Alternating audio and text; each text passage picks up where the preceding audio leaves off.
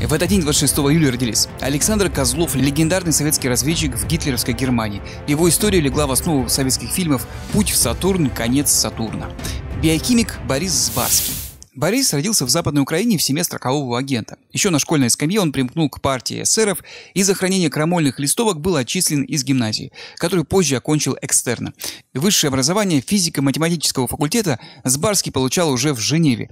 Вернувшийся на родину ученый наладил производство формалина для армии, занялся заводскими разработками наркозного хлороформа и по приглашению вдовы промышленника Саввы Морозова стал управляющим уральскими химическими заводами. Но потом грянула революция, которой пригодились знания знания и эксперименты Сбарского в области бальзамирования. Успешно применив их на теле Ленина, Сбарский стал руководителем лаборатории при Мавзолее, а также исполнил ответственную миссию по транспортировке мумии вождя во время войны в Тюмень. В Мавзолее тело 17 лет лежало неподвижно, а тут его надо было вести и на машине, и несколько суток поездом. При Мавзолее оно сохранялось при неизменной температуре 16 градусов, а 3 июля на улице была адская жара, 37 градусов в тени, вспоминал Сбарский. Неудивительно, что за успех секретного мероприятия Сбарский был награжден всеми возможными правительственными наградами. Однако конец его земной жизни был не таким радужным, как мог быть.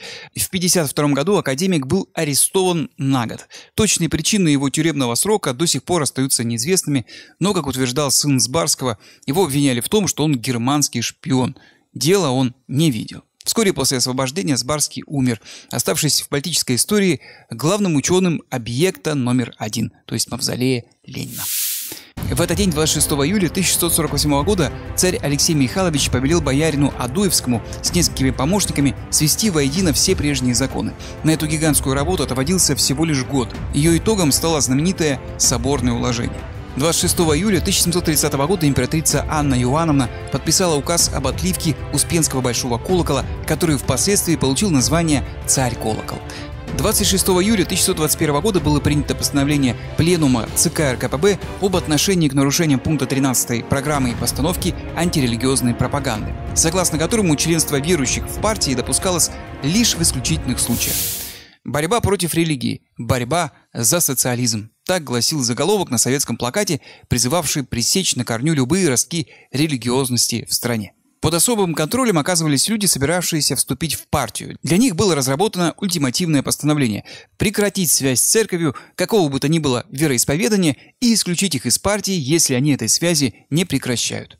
Исключение допускалось только для патриотов, доказавших свою преданность революционным идеям, готовых в будущем отказаться от своих убеждений, а также для лиц, чьи экономические или семейно-бытовые условия ставили их в тесную зависимость от окружающих, не порвавших с церковью. Например, крестьян или участников венчания или похорон. Постановление подписала политическая верхушка страны. Ленин, Каменев, Троцкий и фанатичный атеист Калинин, чье указание Дзержинскому совершенно секретно гласило – Попов надлежит арестовывать как контрреволюционеров и саботажников, беспощадно и повсеместно, и как можно больше. 26 июля 1651 года на раскопках в Новгороде была обнаружена первая берестяная грамота. Сейчас уже найдены десятки тысяч подобных реликвий. 26 июля 2000 года российский космический модуль «Звезда» составил МКС. Происходило рождение Международной космической станции. Основная начинка модуля «Звезда», именовавшаяся «Мир-2», была завершена еще в 80-е годы и должна была стать ядром новой советской космической станции. Однако страна Советов исчезла с лица Земли, а прежний проект стал ядром Международной космической станции. Еще в 1998 году на орбиту был выведен модуль «Заря», изготовленный в России. Вскоре к нему пристыковался американский «Юнити». Полтора года спустя с ними воссоединился модуль «Звезда». Так звено за звеном начали собирать МКС. Первоначально «Звезда», заряжавшаяся двумя солнечными батареями, была главным модулем для выполнения рабочих функций и жизнедеятельности экипажа. Позднее модуль был заменен более современными разработками. В настоящее время «Звезда» не сошла с орбиты и продолжает эксплуатироваться. Однако отпраздновать свой 25-й день рождения в космосе ей все-таки не удастся. Звезду планируют вскоре потушить. Таким был этот день 26 июля.